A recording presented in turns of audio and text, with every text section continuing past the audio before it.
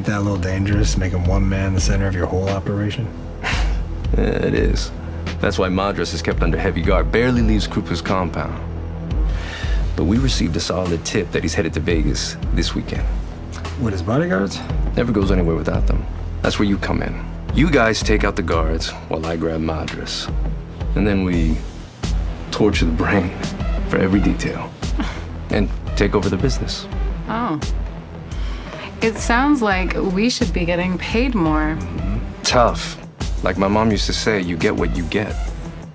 And you don't get upset. Well, this seems a lot bigger than we thought.